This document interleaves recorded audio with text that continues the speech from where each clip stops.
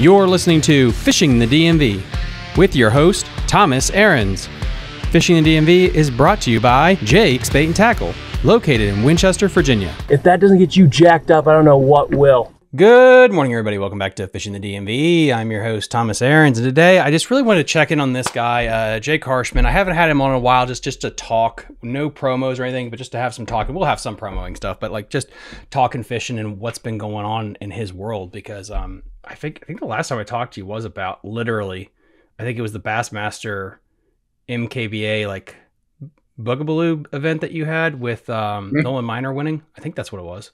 No, it wasn't. Wasn't you're it? all fucking. You're all over the place, bro. I, I am. it's first. It's M A M A K B F Mid Atlantic Kayak Bass Fishing. I'd rather just do Mid Atlantic because acronyms just freaking are terrible. That's fine. Let, let's just say- let's just call it the Mid Atlantic. Let's do Mid Atlantic. Yeah. Um, it was the Bassmaster Series, and Ewing Minor won it, not Nolan. Well, shit. Okay, so I'm gonna go put myself in the retirement home Joe Biden is in right now because I didn't get any of that shit right. But we're gonna keep this. Sure. We're gonna keep some of this ready for the memeing. Holy Christ. Sure. Um, with all that said, how much fishing have you been doing, and and really like what have you been up to since then?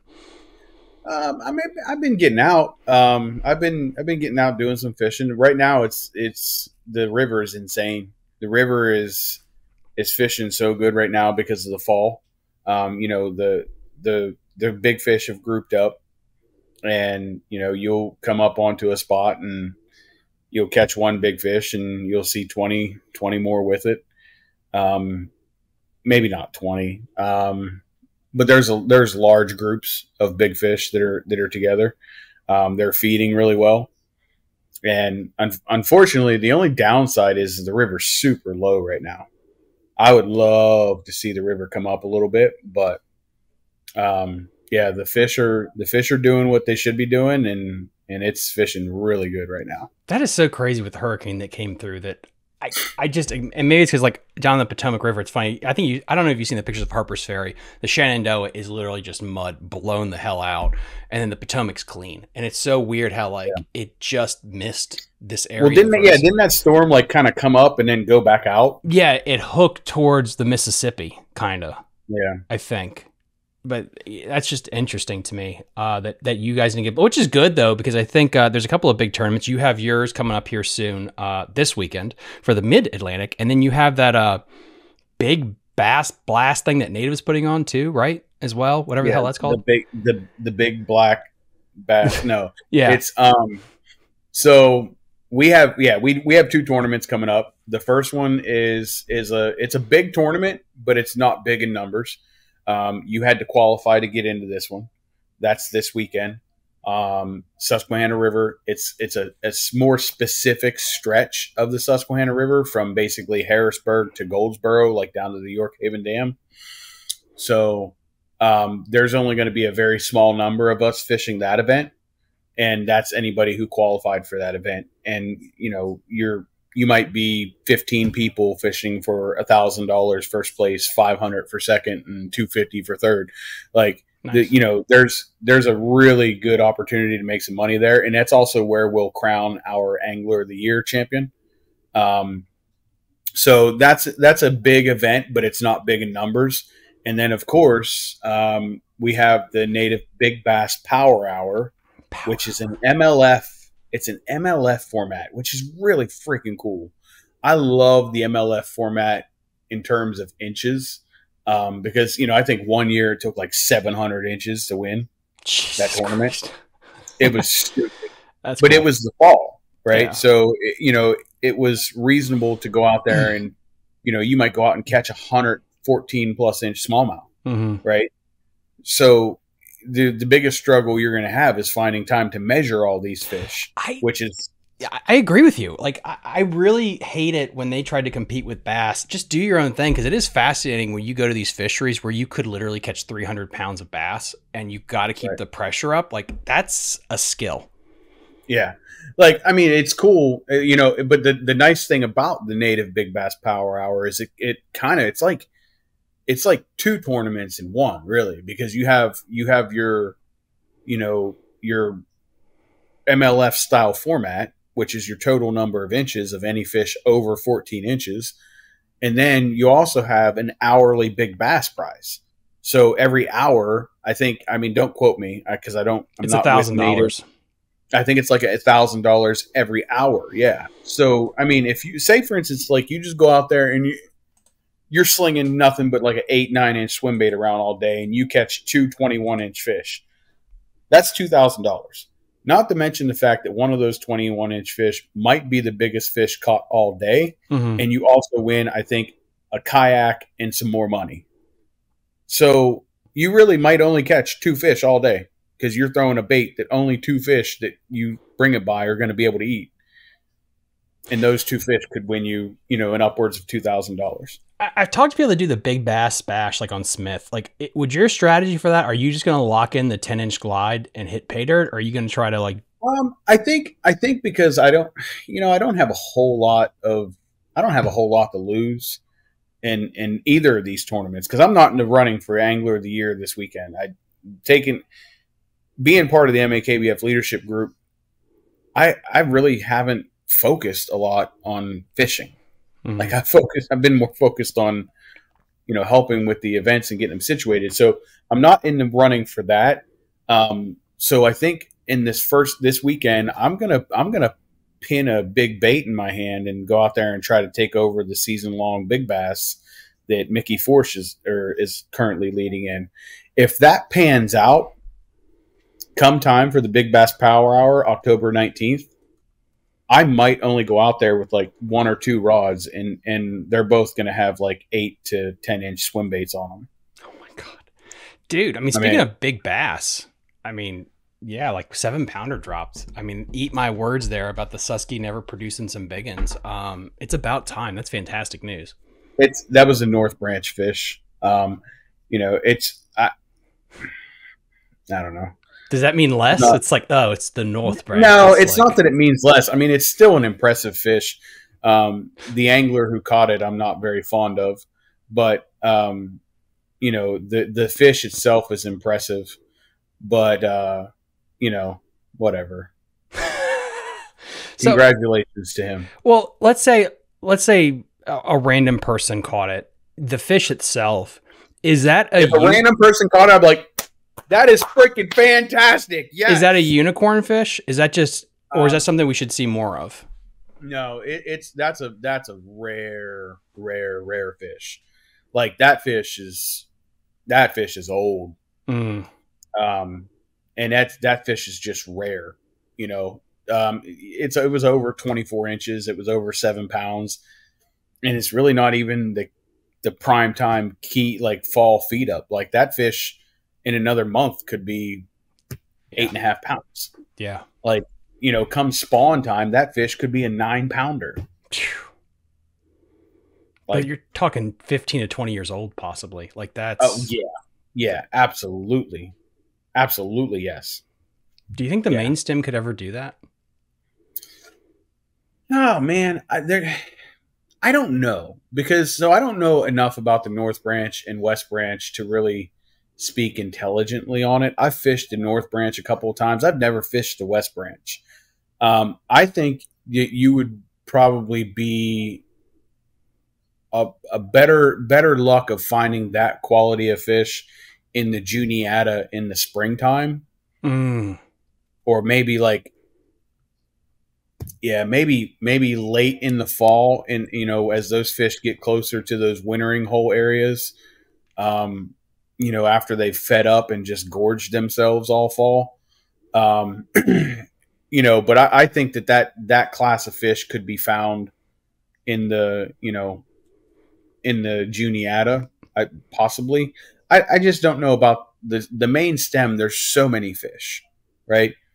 The, the there's so much competition in the main stem for a bunch of 18 17 18 19 20 inch fish like the amount of good fish that we have in this river Yeah. i i feel like it almost in a way makes it where you're never going to see that giant like like was caught up there but i mean i'm not a fisheries biologist i just you look at the amount of big fish that we put put out year after year after year and you know who could ever get tired of catching 19, 20 inch smallmouth? I don't know. I don't know who that person is, but they need medical assistance if they get tired of it. But, you know, I just don't know if because of the amount of those type of fish that we have in our section that if it could ever get to that that range. I mean, but. you guys have such a blessed place up there. The one time I went up there this year with my friend's boat, and it's we had the time you didn't invite me. Well, I mean, with that said, you have a boat now. Um, yeah, like, I, I get well, this is public knowledge. It's not like we're breaking secrets here. So, but yeah, you got into the boat world. Uh, you're no longer a purist. That's insane. Yeah, I'm still a purist. I love my kayak, man. Um, you know, Trey Leach is a very close personal friend, and he made you know, he made a boat that I will for, forever mm. be in love with.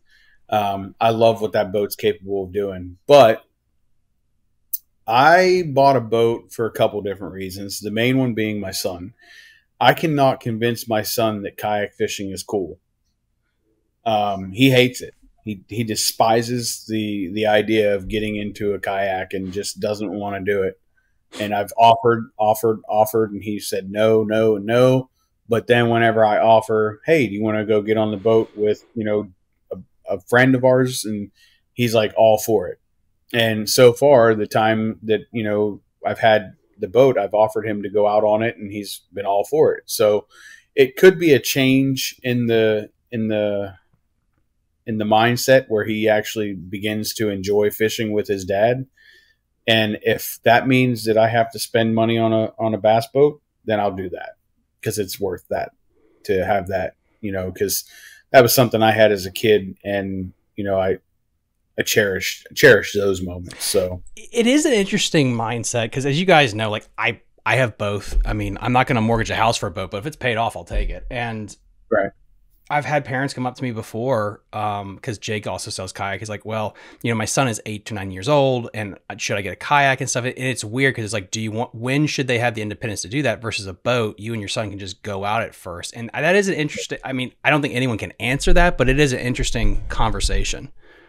Yeah, I mean, for me, it just you know the other part of it was that I fell into an incredible deal.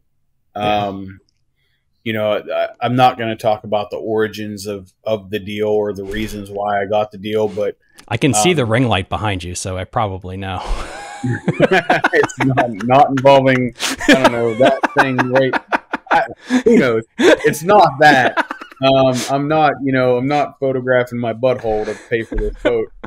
Um, but uh, no, there was a gentleman who, you know, it was it's an emotional story, which is why, and it's not my story, it's his, mm-hmm. so I'm not going to tell it.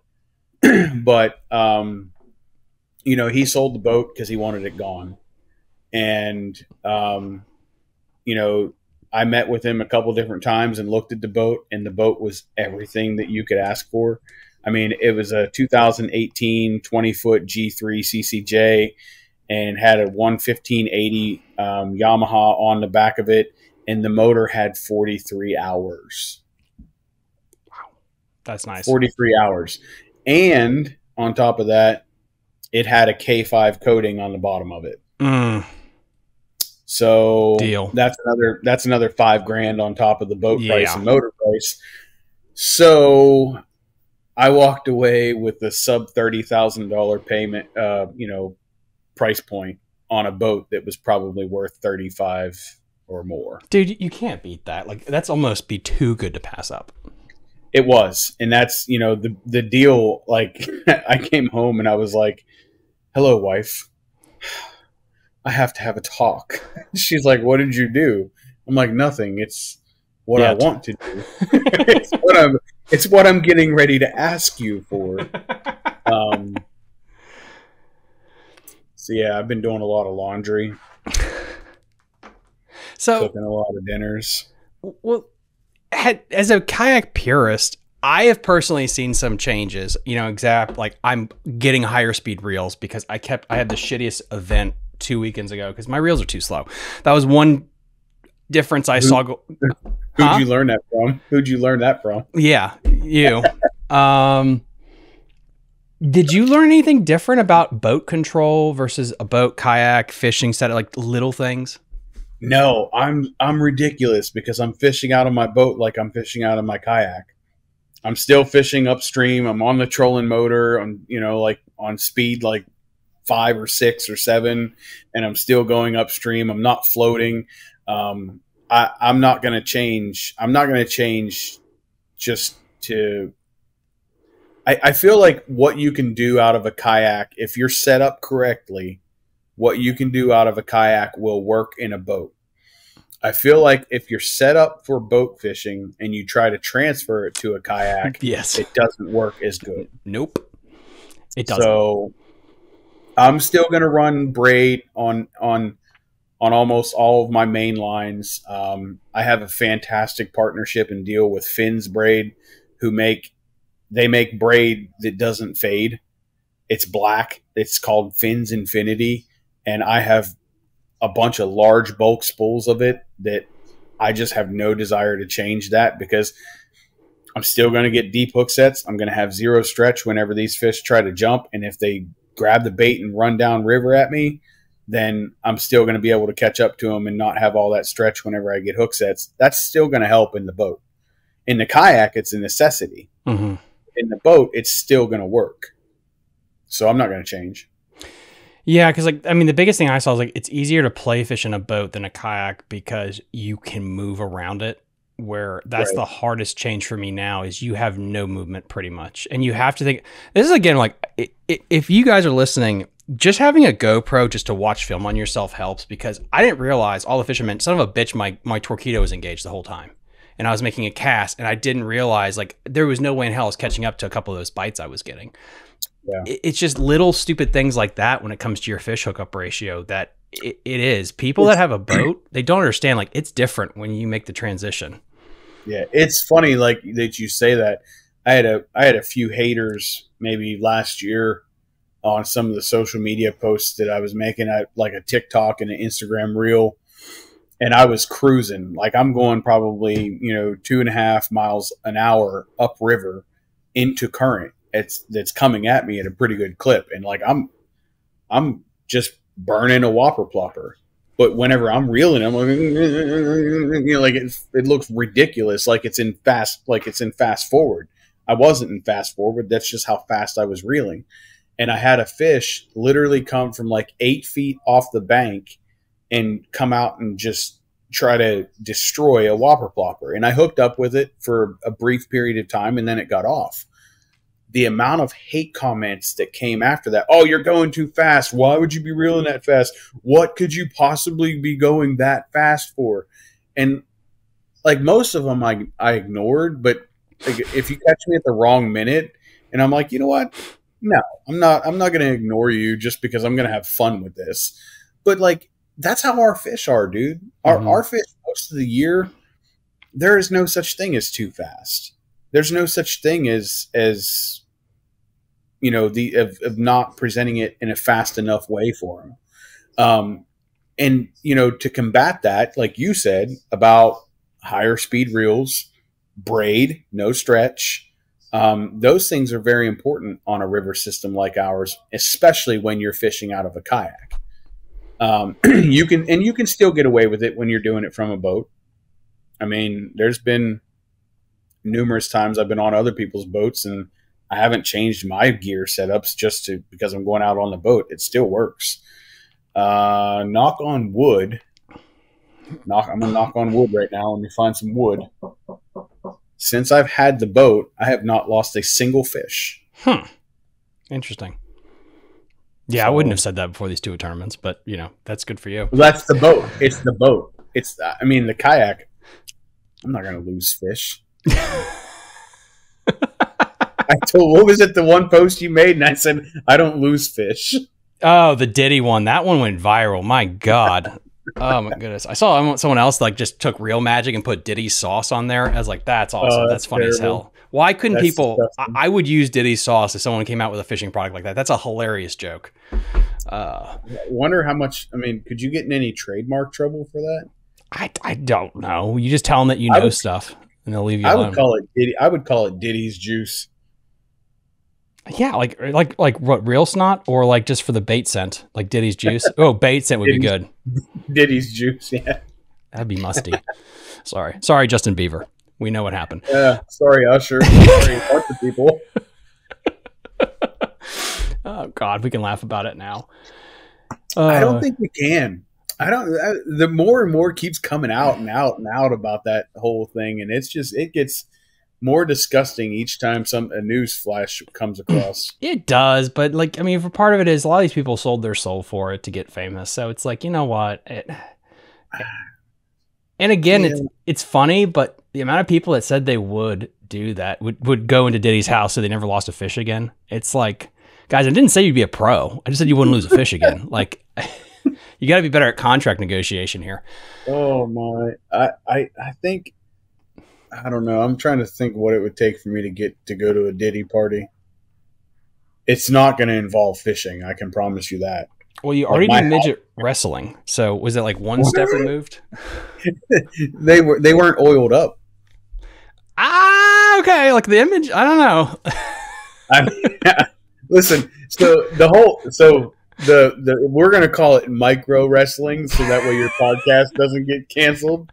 Um, but the micro wrestling, I got to tell this story because it's not like I'm just infatuated with LPs. But um, so I have a coworker who is A little an person. incredibly close friend. He is. I mean, he's. You know, we're we work in law enforcement, right? So we we we could be each other's last person that we're going to see if it's the last breath that we're going to take, right? That's how close we are. He and I are like we're we're we're brothers, and he is very dark skinned African American, and I'm obviously like borderline ginger. So, but we're still brothers, right? So he he had my entire Instagram algorithm fucked. There's no other way to put it outside of that because he would send me LPs all the time, like boop boop. So I'm like naturally like I get them, I click on them, I'm like, uh, look, it's a it's another LP. It's another LP doing something silly, and some of them were comical, but like I got I broke it down. And I'm like, dude, I'm like, do you like are are you in love with with LPs? Like, what's going on? He's like, they're just so awesome. Like, and then when he would talk about him, he would light up. It's got to be an Right? awkward car conversation while you're sitting doing traffic tickets. so he would he would light up whenever we'd talk about it, or when he would send one or see one. You look at him at his phone, and he's like, you know, he's cheesing. I'm like, all right. So I saw micro wrestling was coming to Harrisburg, and I'm like, there, I can't not do this. So I went and dropped the money and bought three tickets. Me, him, and my neighbor. Um, we took my neighbor Chris um, because he. I felt like Chris would fit in well with the group. Is that good? and and dude, like uh, the the face. oh my! I'll have to send you. A, if I send you a photo right now, can you green screen it? I I will put it in post production. okay. Okay, because I'm gonna send it to you, dude. Like the face that he made at this at this was just it. It was incredible. It was worth the money that I spent. Oh, that was that was an interesting discovery. Seeing that you at that thing and, and what you were posting from it. Uh, it looked like fun though. Dude, I took over 500 photos at that event. Like over 500 photos at that event. Look at this man's face. it was it was fantastic. Like, oh, it was great. oh my god! And we had a good time though. I almost got kicked out. For joining in. They- well, no, they were selling raffle tickets, right? And there was a, a, a you know an LP walking around selling the raffle tickets. And I asked the question. I was like, I'm like, do you guys do the 50-50? Because they did it. They were doing it for like the Wounded Warriors and stuff. And I'm like, do you guys do the 50-50s of like for Wounded Warriors at, at all the midget wrestling events? And he's like, you can't say that. And I was like, what? He's like, you can't say that. I'm like, say what? And he's like, midget. I'm like, you fucking said it. He's like, well, I can say it. And I'm like, I'm going to say it. like, he got me. Like, I think he was joking, but he visibly got angry, or at least pretended to be angry about it. And I was like, I don't give a shit. Throw me out, bro. Like, I'll grab two beers on the way out and Stone Cold Steve Austin this shit. that'd be a great headline for the Mid Atlantic Kayak Series. It's like he, head or one of the heads of state uh, in allegations at midget wrestling. Oh my god, that that is a political headline. I don't think it's going to make the the news. Not with everything else that's going on right now. I mean, the fishing in my area, man, a lot of places are just trashed. Some places are, are doing okay. There's just Did, well, did you see up here? We had that up in uh, Selinsgrove. There was that big sewer main that broke. really Dumping, yeah, it was dumping like thousands and thousands of gallons of raw sewage into the into the river through Penns Creek. Mm. But I they got it fixed, as far as I know. I don't know what if there's a, if there's been any fish kills upriver because I haven't fished north of I haven't fished north of Harrisburg in a month or so. Um, but yeah, I know that there was a huge sewer main break that they had up there, and and it dumped a lot of raw sewage into the river. I hear they're bringing back Three Mile Island too, right? Yeah. Um. Apparently, there's some Microsoft AI. I don't know. I, I don't know exactly what it's powering, but it's going to power something from Microsoft. Mm-hmm. So Three Mile Island's going to come back online, which is it's great for the local economy.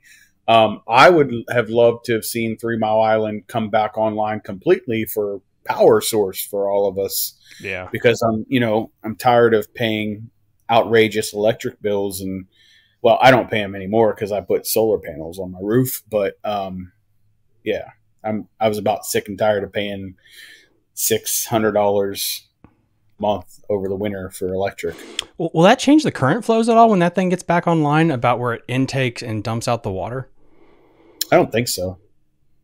There might be there might be some intakes and, and outflows that become productive again, but it doesn't it doesn't redistribute enough current to make Okay. a huge difference. And and the other thing too is uh, not a lot of people don't understand where Three Mile Island actually is. It's in a pulled up section of the Susquehanna River that's more lake like. Um, so there there is current there, but there's not as much current as as there is, you know, a couple ledges north. Um, That place will pop in the wintertime, though. I bet. mm, yeah. Well, they're going to have to have regulations, though, right? Just like some of the other power plants on the river.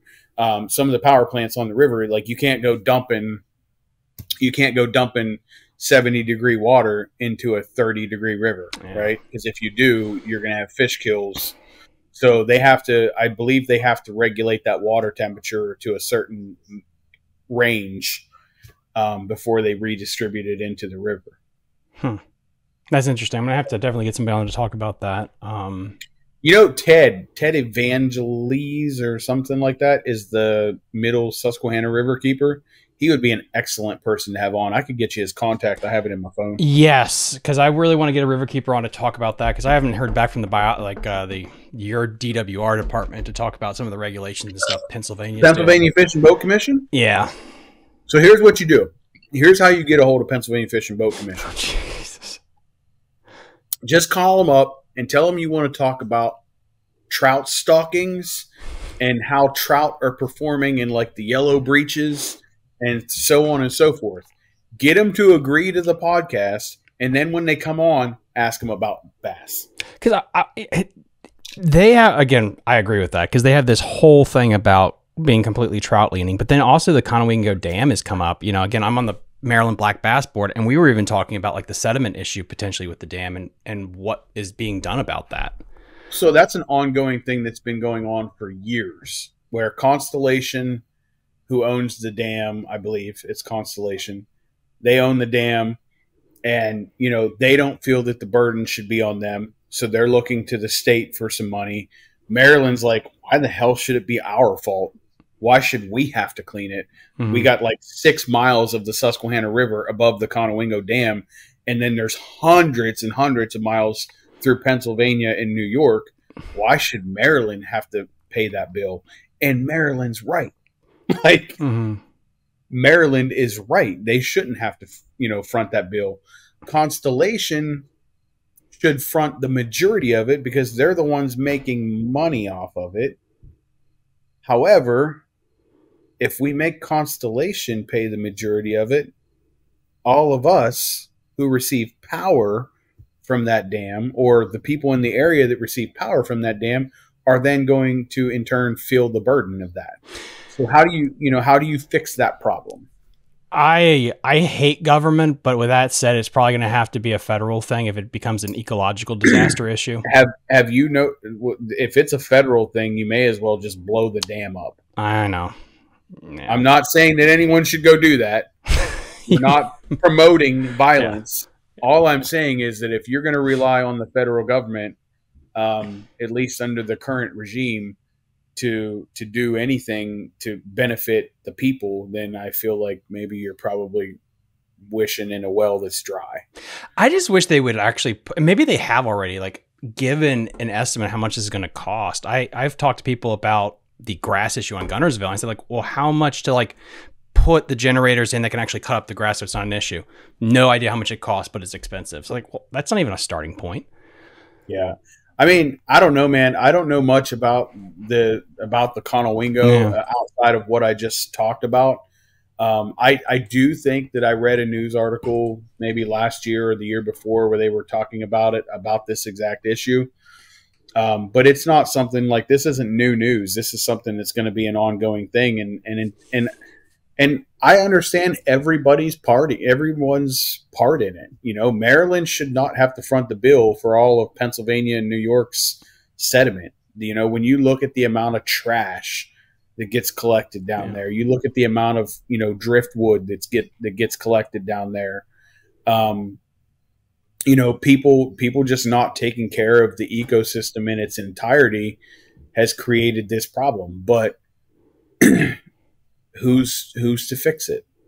It's an interstate problem. It's New York, it's Pennsylvania, it's Maryland. Mm-hmm. So collectively, why can't the three come together with Constellation to say, let's do something about it? But, it's yeah, yeah, it's depressing. It really is. Yeah, because there's there's so many great fisheries up and down this river system. Um, you know, people sleep on certain sections of this river and say, oh, well, you know, this section's not good or the North Branch isn't great because it's a bunch of small fish. However, a seven pounder just got caught there. Um, the West Branch isn't great because it's so clear and they're so hard to catch, but every tournament gets one out of the West Branch up there. You know, you look anywhere between Sunbury and Harrisburg and you can't pick a bad stretch of water. And then below Harrisburg, you got you know, you had some flathead issues, but after the 2018 floods, all that started to regulate, and those fish are coming back, and they're all giant. You know, I know of people catching 21 inch fish in Marietta, which, you know, just hasn't been like it, there's the whole river system is good. We just had a, a, tournament on the Conowingo this year that a 21 and three quarter inch smallmouth was caught on the Conowingo. That place is every, really cool. Every section of this river has quality fishing. Is Harrisonburg every, slept on?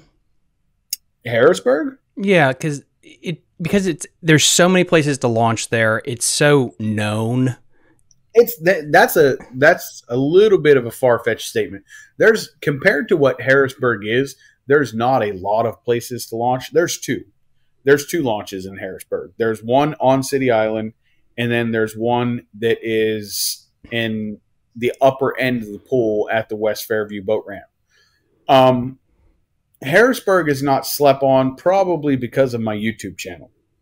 I think my YouTube channel has exposed most of some of the best places to fish in Harrisburg. Um, but you still have an accessibility aspect, right? So people that are on the bank are stuck to the bank, yeah. right? People in the boats, um, a lot of times they don't go to Harrisburg in the summertime just because of the pleasure boat traffic. Ooh, because point. that's the reason why Dock Street Dam exists. Um, Dock Street Dam exists that way that the island could be lucrative for the city. That way, businesses could benefit and profit from having the boat traffic.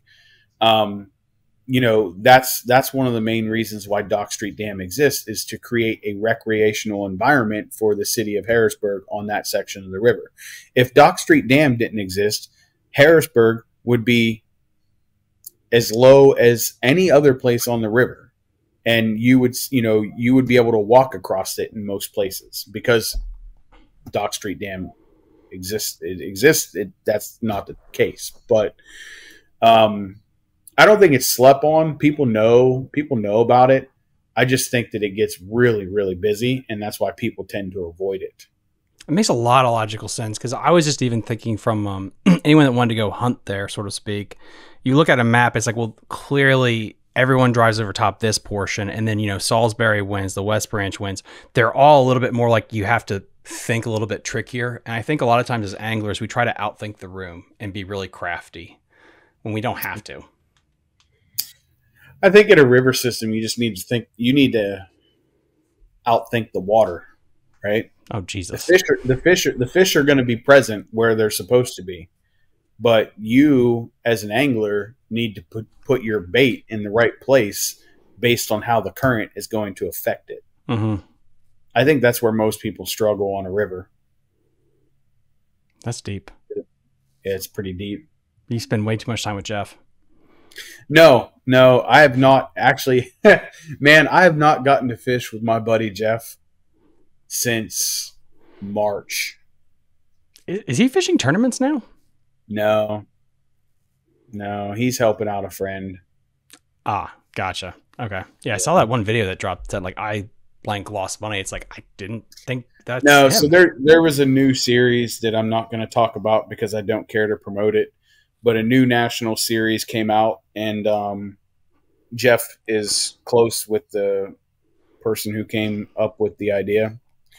Um, and you know, I can't choose my buddy's friends. I can only be friends with my buddy. So, um, but you know, he uh, he goes and participates in that to help further his bit, you know, his his endeavor and I respect that. But um, yeah, that's all I'll say on it.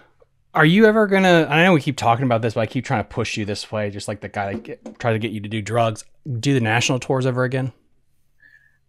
Uh, I don't want to. You really never want to again? I don't have any desire to. That's You're gonna sad. ask me why? No, it's like, I get it. It's just you. St- you're in that good prime part of your life right now where you can still crack them. But I guess you've already done everything that you've wanted to. You've already won at the big stage, so it's nothing left to prove.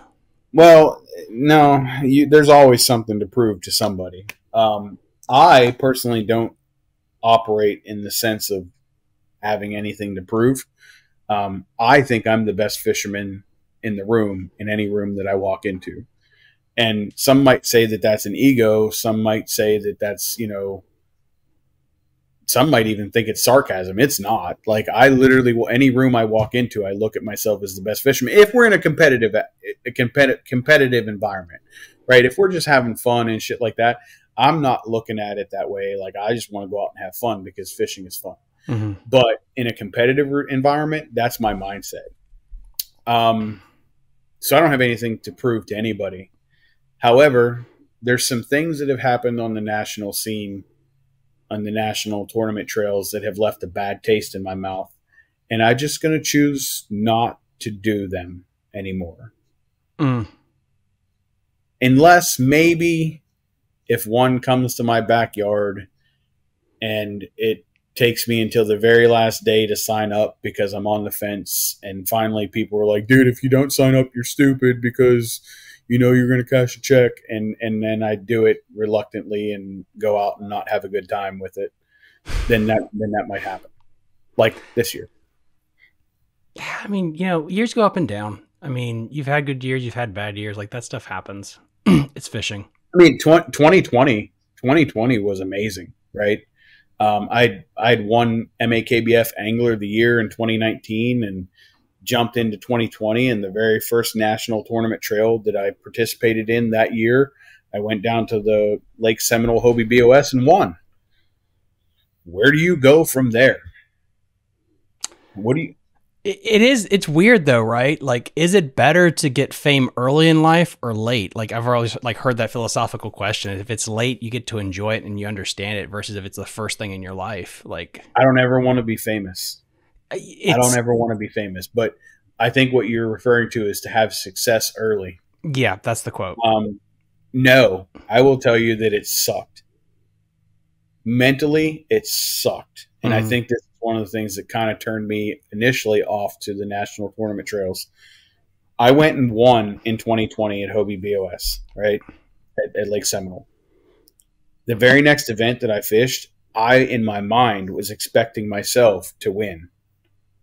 I go into almost every event thinking to myself, how am I going to win? What do I have to do to win? But I was going into the next event expecting myself to win. And I put so much unnecessary pressure on myself because of the previous success that I had. And I quickly got my dick stomped in. So no, it, it's a it's a hard lesson to learn hmm um, that you know not everybody is Ewing Minor, not everybody is is as good as some of these guys are, where they can go out and just have so much knowledge on so many different varieties of fisheries. Um, you know, I'm a in really, and I'm a one trick pony. Like if you give me current, I do well. If you put me on a landlocked body of water that's still, I suck. Well, and again, I think to give yourself more credit from the minor brothers here, when you get to fish all these same places over a career from high school all the way here, it gives you a hell of an advantage. Even if you sucked, if you suck on a place for five years, eventually you're going to crack the code. And I know both brothers fished college, you know, one fished the opens and stuff. I had them both on my show a couple of times. That's a hell of an advantage to have. Yeah. Just seeing those fisheries again and again and again. And Right. I, I I don't know. Like that's the problem is if you really want to make a, a go at this at, the, at any kind of national tour, boat or kayak, assume the first year is going to suck, but it's just to get your lumps of going to these places because you're going to see them all the time. Right. Yeah, and, and you know that's certainly a huge advantage. It's a huge advantage to have, you know, that ability to travel as well. Yeah, to have oh, that yeah. ability to take off time time off, and you know, I don't have I don't have the ability to take off a week and a half for every tournament that I want to go to, because that's what it really boils down to is a week and a half. You have a day or two of travel depending on where you're going on both ends, and then you have maybe two to three days worth of pre fishing, and then you have two days of tournament, right? So, in order to truly do it, you need to take about a week to a week and a half off of work for every event that you attend. I can't do that. I can't do that because otherwise I won't be able to pay my mortgage, right? So, there's certainly an advantage to not, and I, I don't want to make it seem like they don't have any responsibilities, but being young That's a big thing. being being the time where they you know where they don't have a mortgage they don't have a wife and a family and and dogs to you know to pay for um, they don't have horses to pay for um, you know like that's a huge advantage of being able to have that luxury of time and Yeah. you see that with the some of the biggest names in the sport if you look and you look at like Kristine right Kristine has that luxury because fishing is her job Mhm. right? She can do everything that she needs to do to make her living while on the road, while traveling to these places. And then traveling to these places and fishing is part of her job, right? The same could be said for Jody Queen. The same could be said for Russ Snyder's. The same could be said for a variety of other names in the sport that are that are very well known in, in kayak fishing. These people are doing it full time. Some of them are doing it as a retirement job, such as like Jody Queen. But you know, they're doing it full time. This is their job. So there's a huge huge advantage for those people. Um, and naturally because of that, be, and I'm not saying because of the advantage that they're that they're there, what got them there to give them that advantage is their skill set. And then by by default, their skill set has produced an advantage for them over top of everybody else. I would say two things can be true at the same time. They have the skill set to be there, but then also they have these other factors that give them the time to improve the skill set. Because a great example is like the college fishing scene. You could be a kid and you just get uh, you go to a college university that has a fishing team and for four years you get to travel all over the place basically for almost free and you get to right. see those places you automatically have a bigger advantage over a guy that worked a nine to five that never got to do that because they have a family and that's just right. it's just a fact so yeah.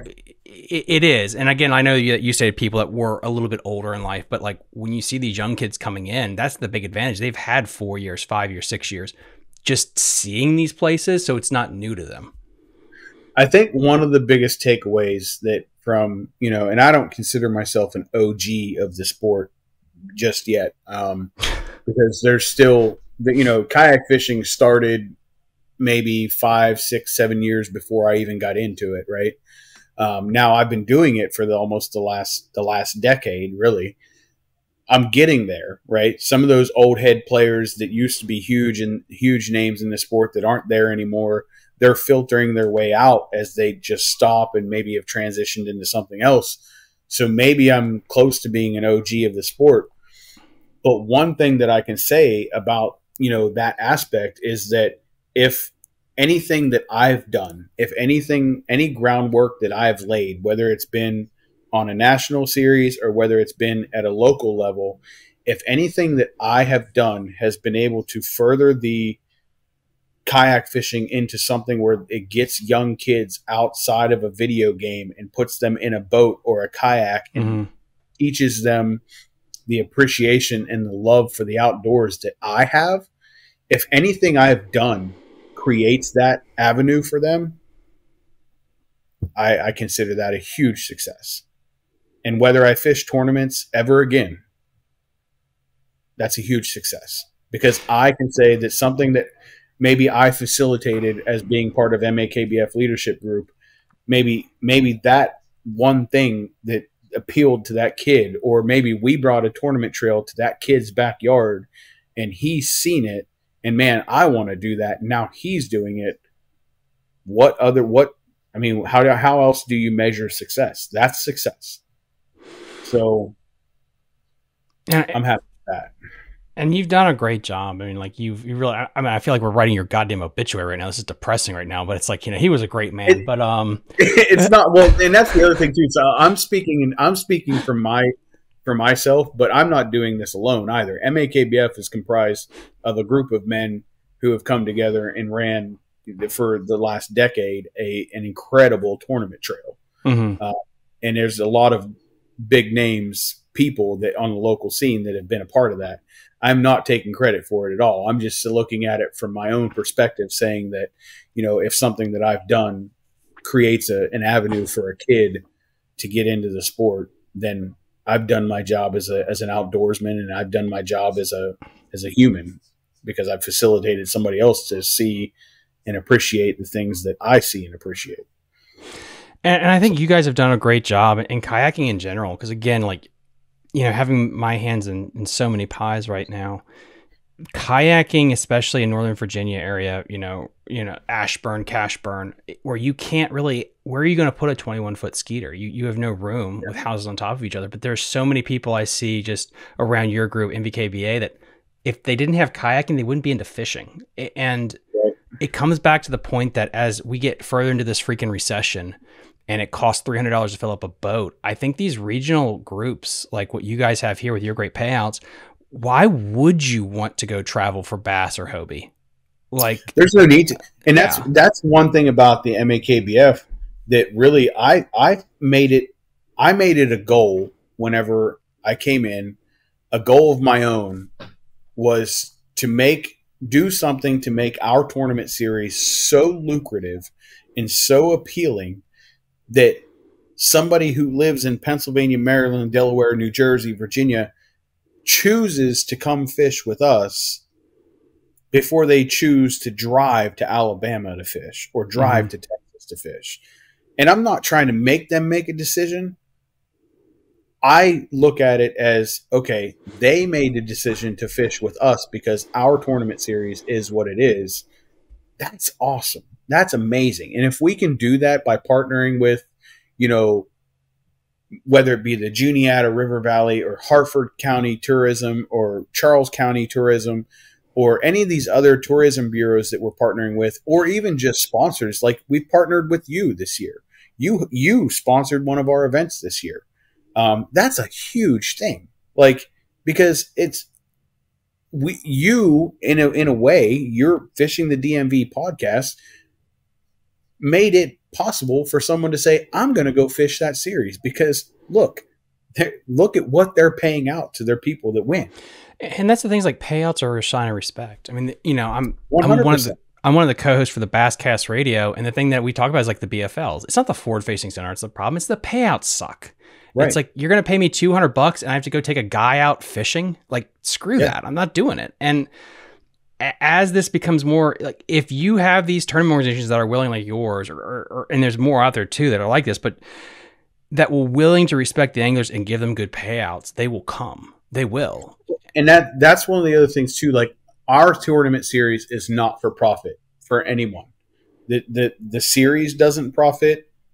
The the members of the leadership group don't profit. Um, we don't get paid for our time. We don't get anything for our time. We we volunteer our time to make the series what it is, but the sponsors make the payouts what they are because we also don't want to charge the angler a huge sum of money to come fish with us. So there's a there's a there's a median somewhere that we all have to mm. like meet at. The sponsors meet with us with our leadership. The sponsors meet with us, and the the anglers meet with their with their entry fee to somehow create this balance that has perfectly worked out this year. This year has worked out perfectly. We have had our highest attendance. We've paid out more money than we've ever paid out, and we've had you know some of the greatest successes that the series has ever had and part of that was partnering with these with these sponsors people that we haven't done this with before everyone's going to endemic sponsors and saying hey you know can you give us this or can you give us that and and most of the sponsors are like yeah we'll absolutely give you product product is great product is fantastic. I love having prizes to give away to people. That is huge. But most people who are already doing this already have what they need. Yeah. And, and so I think the- what makes it better, what draws them in is that number, that money value.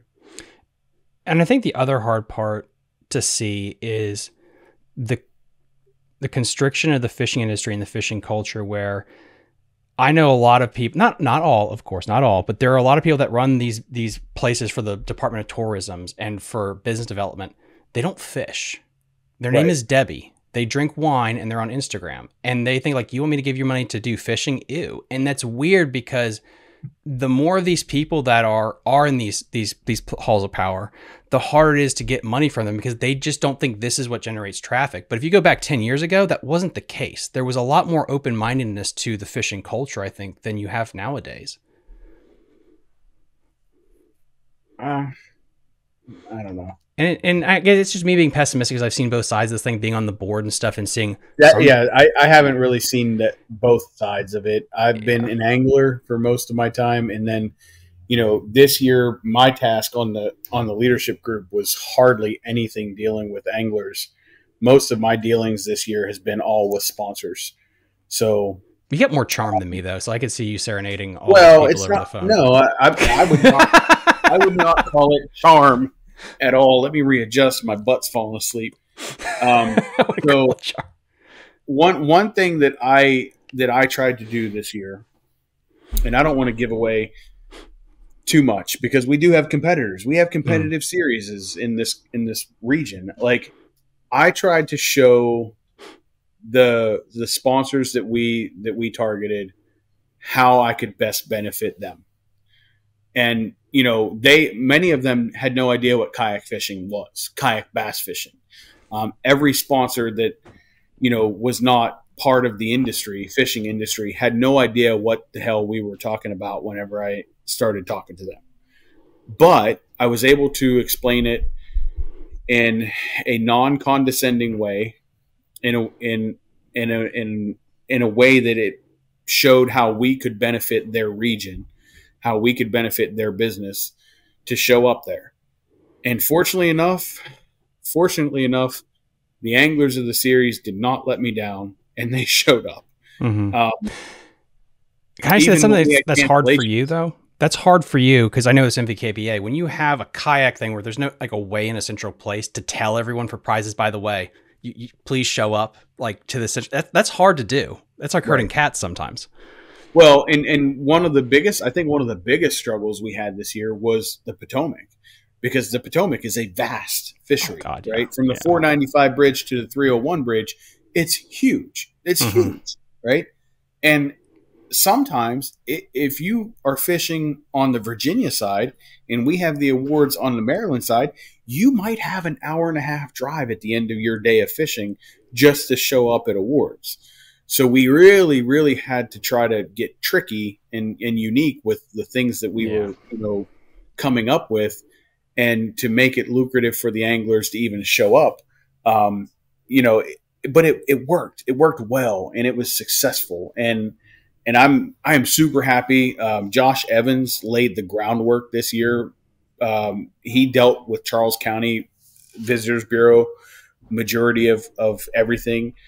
Um, you know, he he really set us up well for future, you know, future successes with them and, and partnerships with them.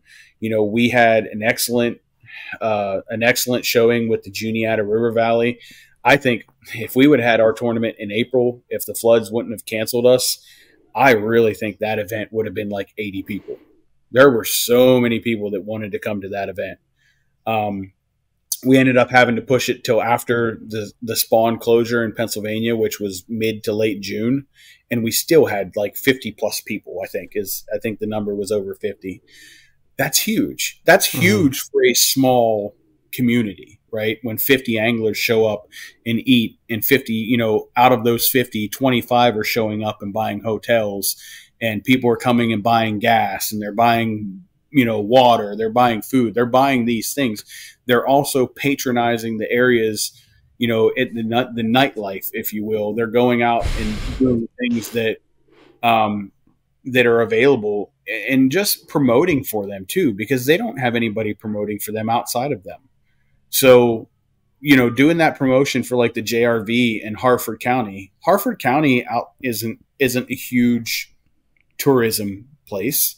Um, but when we talk about bringing a tournament series there, they were excited to have us. They wanted to know about it. They wanted to know what we were.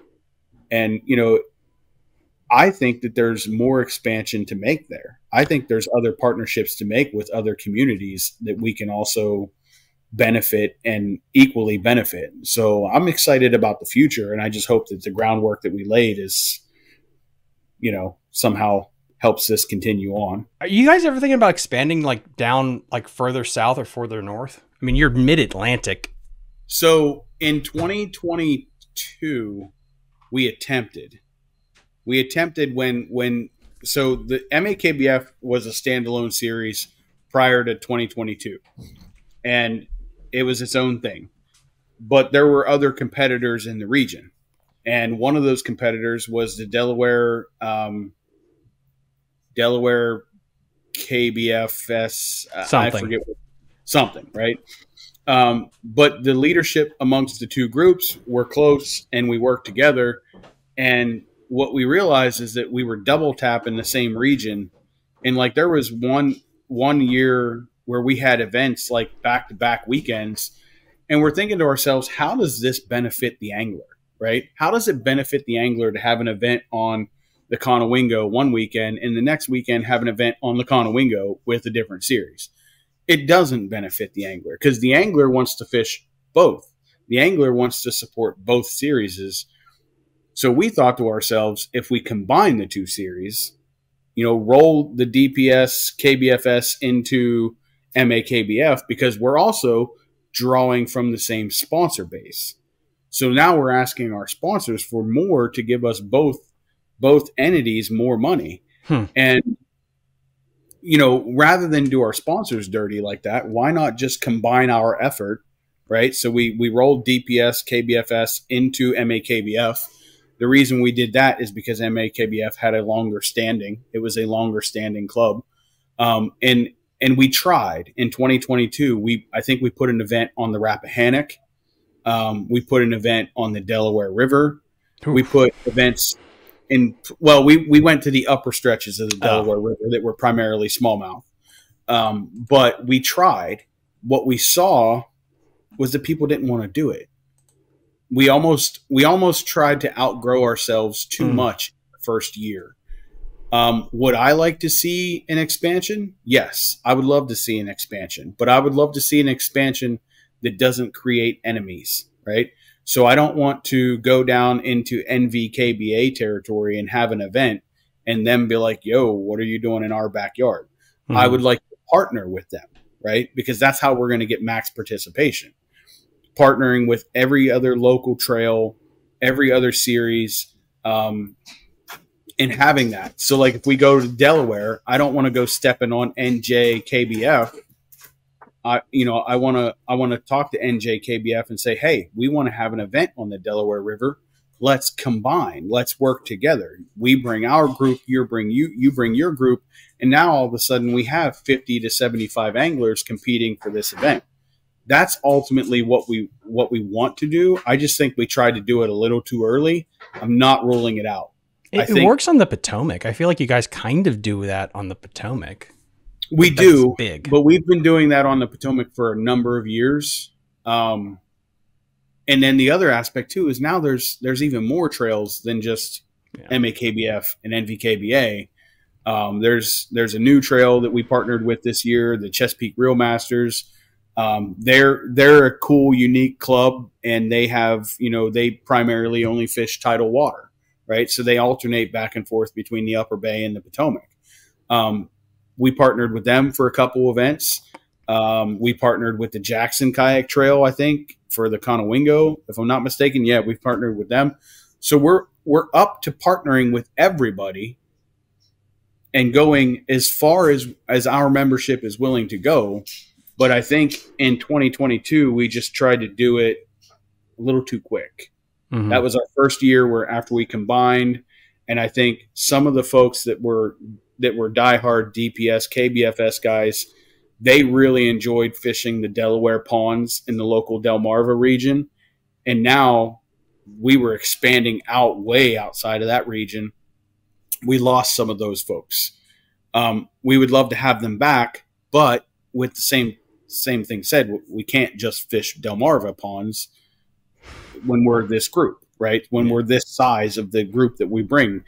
Could you imagine putting 50 anglers on on a Delaware pond? Like it yeah. would be very difficult, right? So we have to kind of expand and unfortunately because of that expansion, we lost some of our core membership base. So I think once we gain that core membership base back and and continue to put out a quality lucrative product, I think the expansion outside of the regions where we are right, right now, I think will be will will work and be effective. But it's just not in the cards. Probably not even next year. Um, this year was a great trial run. It was a great it was a great season. It was a record breaking season. But we need to have like three record breaking seasons before we can look and say, okay, let's take the MAKBF name and say we're going to show up in New- Northern Virginia and hope that NVKBA will partner with us.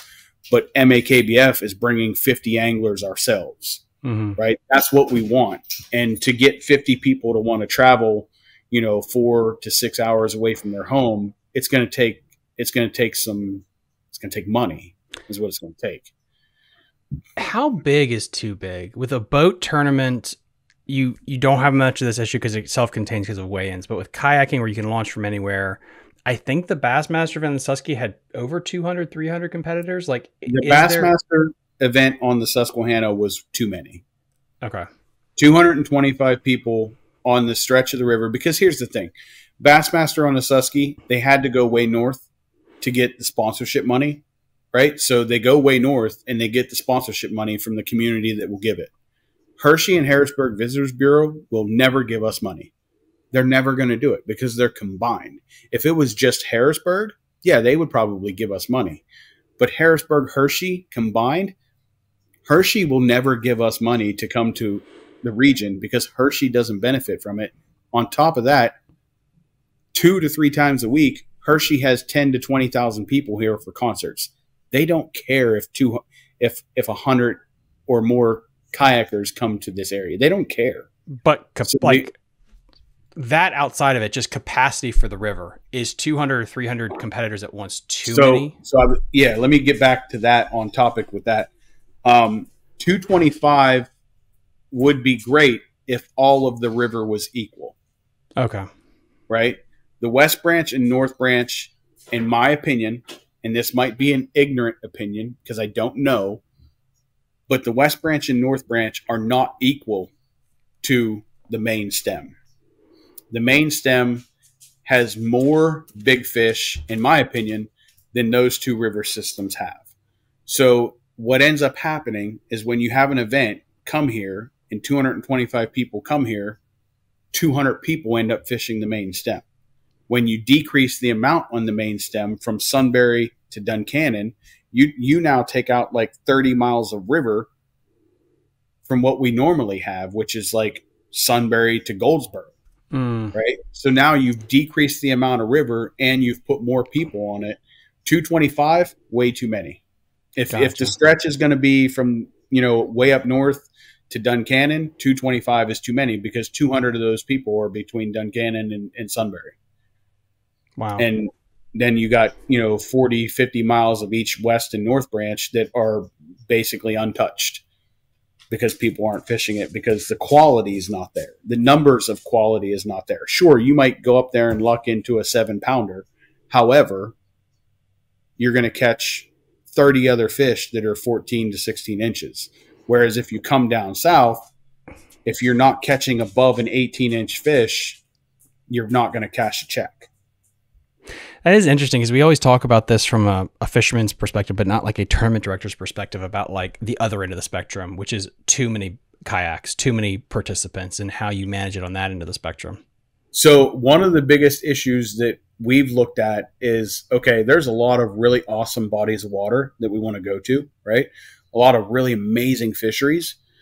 But then you look at it and you're like, okay, if we have an event on, I'm just going to throw one out there, Gifford Pinchot, right? Gifford Pinchot in central Pennsylvania. It's in York County. It's an amazing fishery. There's so many three and four pound largemouth that live in that in that lake.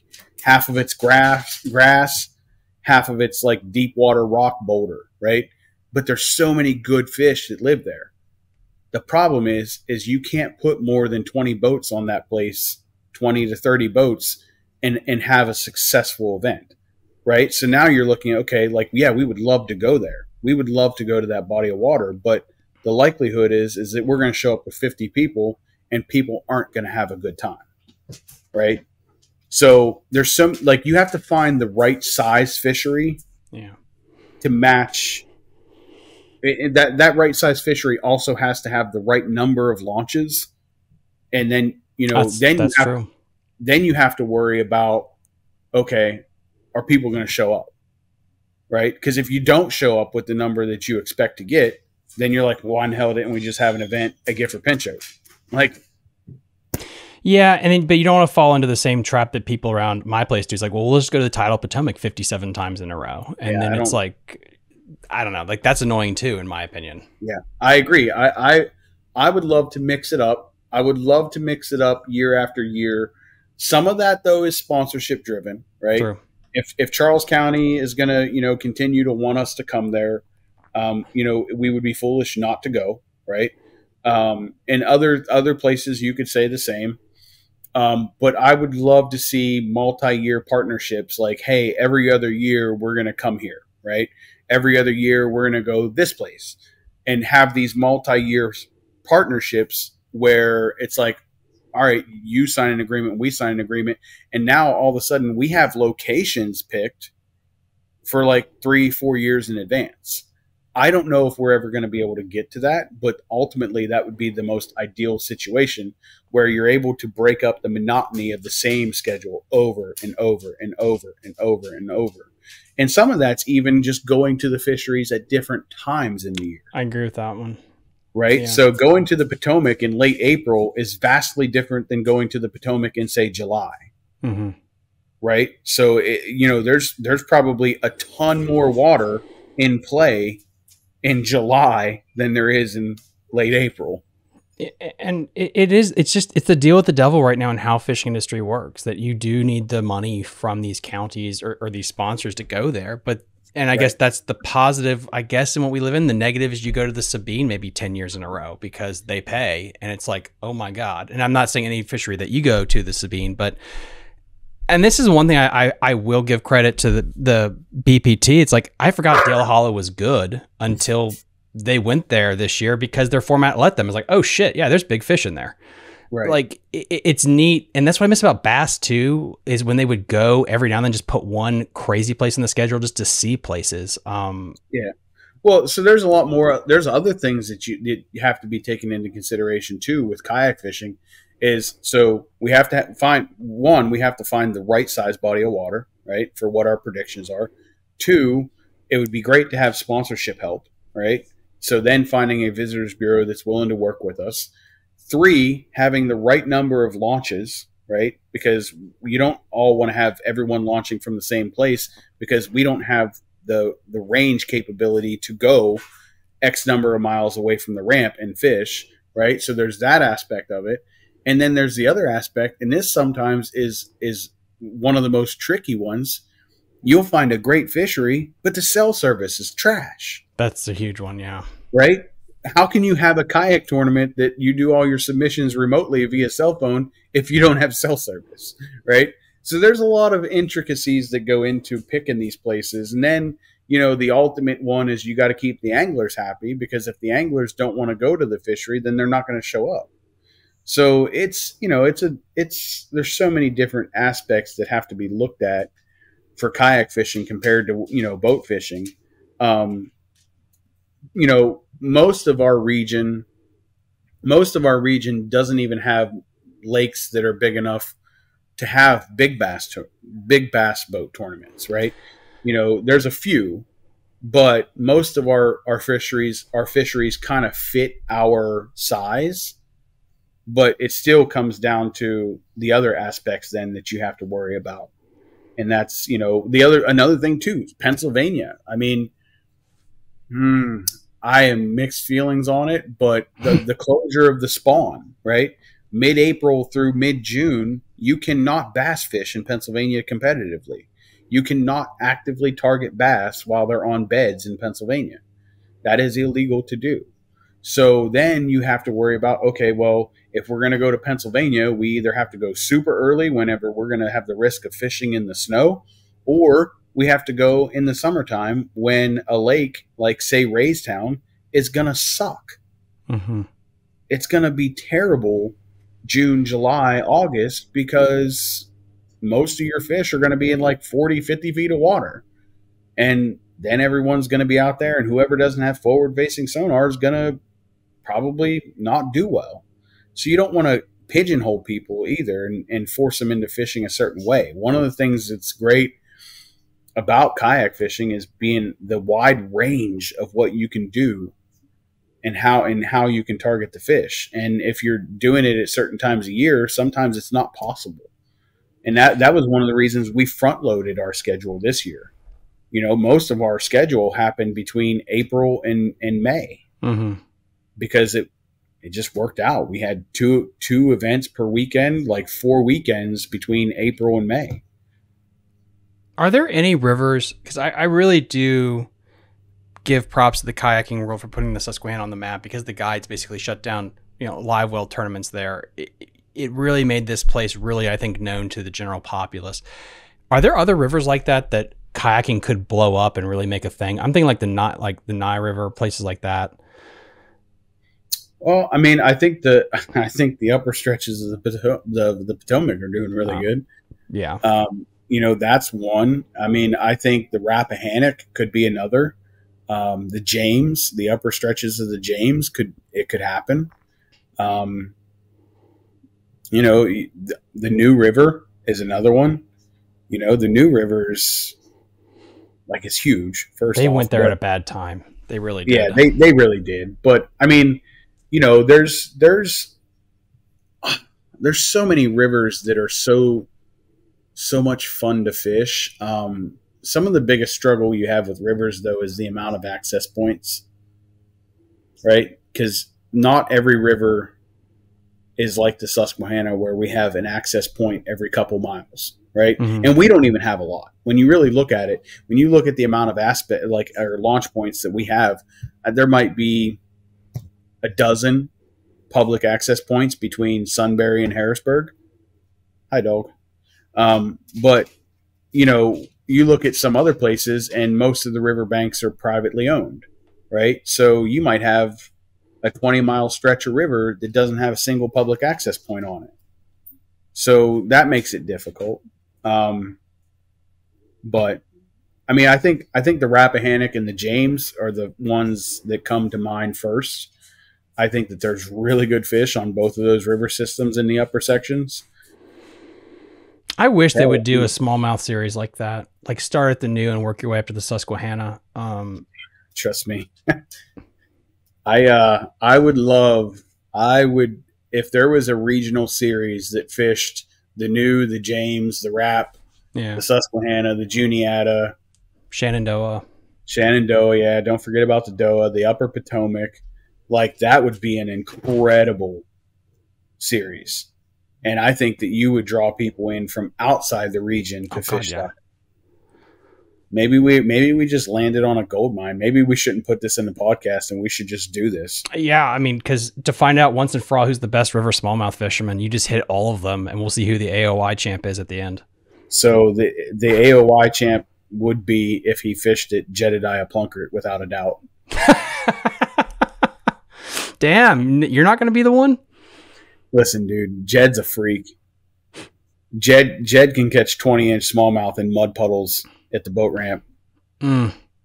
Like that dude is a freak. Between him and Jody Queen, that series would be tough to win. If if both of those two fished it, that series would be tough to win. I would love to get Jody on the show, but he You want me to see if I can make that happen for you? at some time, like the way you said that though, it's like like I'm just gonna take some pictures of him while he's sleeping. Nothing big. I might already have some. Hold on. God. Uh, cause um, yeah, and then, and then yeah, and also with the Jeff, I saw that Jeff that went down to the New River because like that place has just been freaking nuked, man. Oh my god. Hopefully that place comes back. It probably will. But I'm trying to think, dude. Like we pretty much just covered like every damn thing that's going on in your life, and hopefully like these next two events for you go well and smoothly from the political side and from the uh, fishing side. dude i i tell you what man i'm i'm pretty pretty set on throwing nothing but giant baits for these two last two events that i'm going to be fishing this year because i'm really i mean i'm fishing for you know two or three fish and if i catch a 20 22 inch smallmouth could win me a couple thousand dollars Dude, yeah. Or put it on a leash and just wait for the right hour to like put it No, out we're- we won't do that No, we, we, will won't do not that. do that. we will not do that. oh my god. All right, um, guys. As always, link in the episode description. Everything we talked about. A link to uh, Mid Atlantic Kayak Association. There, I'm not going to do the acronym because my brain don't like those words too much.